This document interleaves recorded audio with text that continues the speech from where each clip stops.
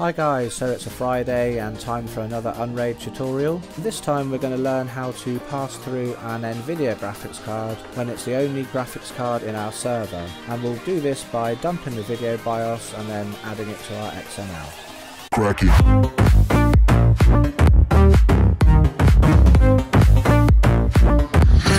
Today's video was requested by YouTuber The Orange Pulley and in this video we're going to pass through an Nvidia graphics card as the only graphics card in the primary slot on our Unraid server. Um, to do this we're going to need to dump the VBIOS of the graphics card but to do this we are actually going to need two graphics cards that's because we can only dump the VBIOS from the graphics card when it's in the secondary slot. Now if you don't have two graphics cards, maybe you can borrow another one quickly off a friend. It doesn't matter if it's AMD or Nvidia. Um, it should only take you about 10 minutes to do this. As you can see here, my primary graphics card is an AMD 6450 in my primary slot and my GTX 1070 is in the secondary slot. Once the hardware is set up correctly in your server, restart the server and go to your VM tab. We're just going to have to check that the graphics card is selected for pass-through. As you can see here, my Nvidia is selected as the graphics card for this virtual machine. So just click on update and then we're just going to have to start the virtual machine with the graphics card pass through.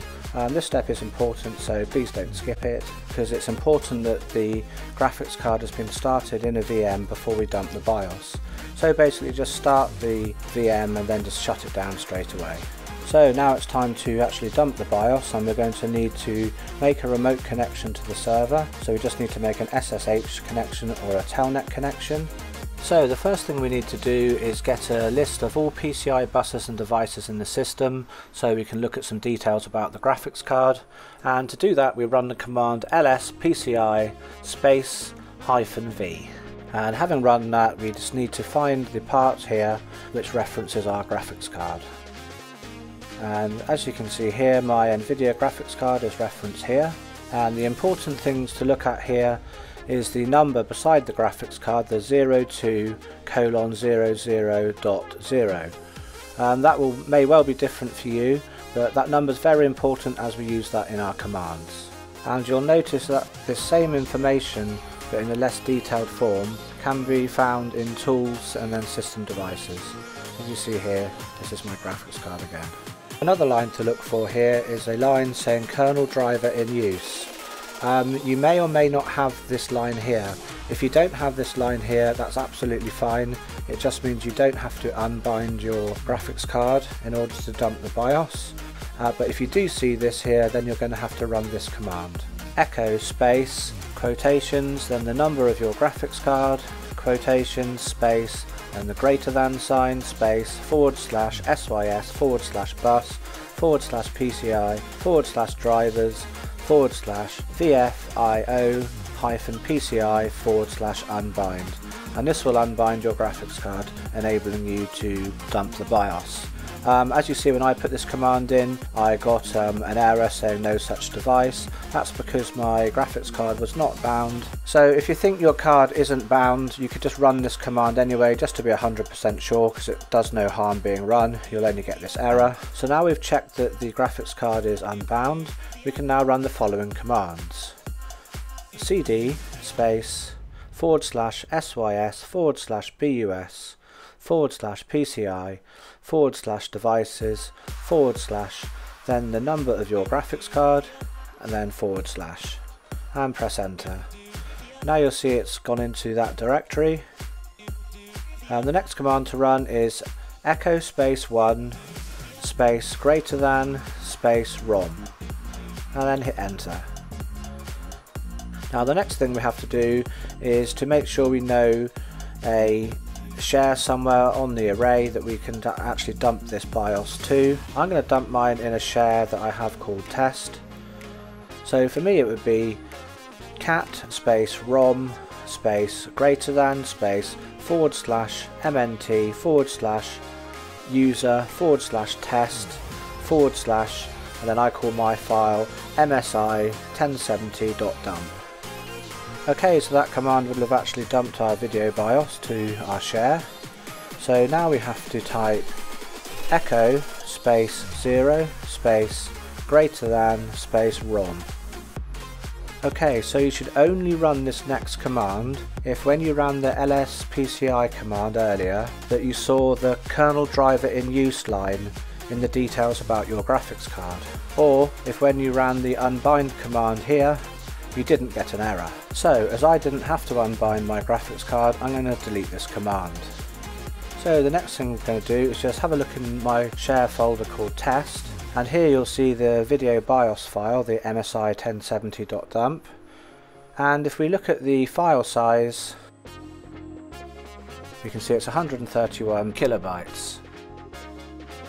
So I've heard a lot of guys on the forums saying they've tried downloading their video card BIOS and it hasn't been successful. They've either downloaded it from TechPowerUp here or they've used GPU-Z to extract it. But if I scroll down to the bottom here, this is my graphics card, a GTX 1070 Seahawk, and I download the BIOS. I'll just drag that onto the desktop here. If you see the size here, the size of this file is 256 kilobytes. That's totally different than the one I downloaded myself. There is something different about this BIOS and it probably wouldn't work you know so please always make sure you dump the BIOS um, using the terminal it is a lot more difficult and awkward but it is going to be right so now we need to power the server down and take out the primary graphics card leaving the Nvidia card on its own so after you've done that just reboot the server and then click on to tools then system devices um, and now we need to check that our graphics card has got the same number assigned. As you can see here mine is still 02 colon 00.0.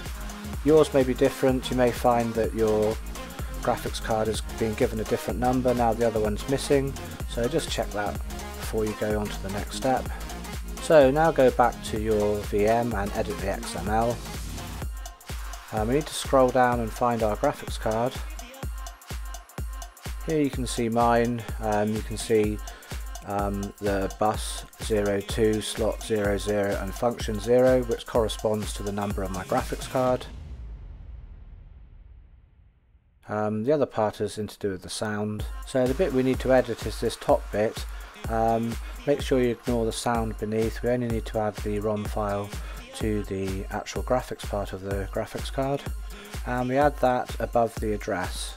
So just type less than rom space file equals quotation forward slash then the location of where you've put your ROM file. Then close quotation and forward slash and then a greater than. And you can see here that's the file I've just referenced, the MSI 1070 dump that's in the test share folder. Now I'll just click onto update. Now there's one important thing to remember. Because this is a custom edit we've put into the XML, should we make any changes in the VM manager on Unraid, we will have to put this custom edit back into the VM. Anyway, let's start up our VM. And here you can see I'm remoting into my Windows with Splashtop Desktop. And if I go to properties and device manager you can see here that the GTX 1070 is the display adapter. But why not let's start up a game and see it working properly. I love this game Metro Last Light yeah everything seems to be pretty cool just the Nvidia card in the server and Game's working absolutely fine. So guys, that seems a good point to finish this video, so I can play this game. Um, haven't played this for ages, so I think I'm going to relax now and play this. So anyway guys, if you like this video then please give it a like, and if you want to see more from me then please subscribe to the channel. Anyway guys, whatever you're up to for the rest of the day, I hope it's as much fun as I'm going to have playing Metro, and I'll catch you all in the next video.